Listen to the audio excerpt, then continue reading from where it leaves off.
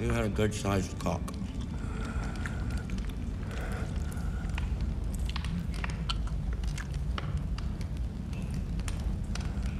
What? No. Pork sausage.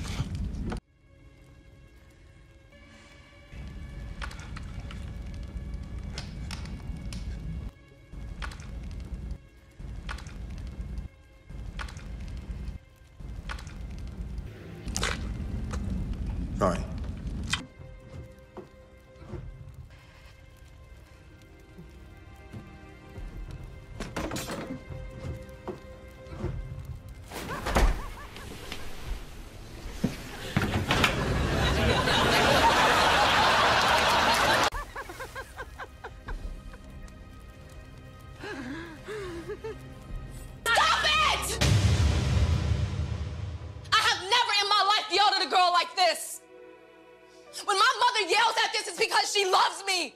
I was rooting for you. We were all rooting for you. How dare you? Learn something from this.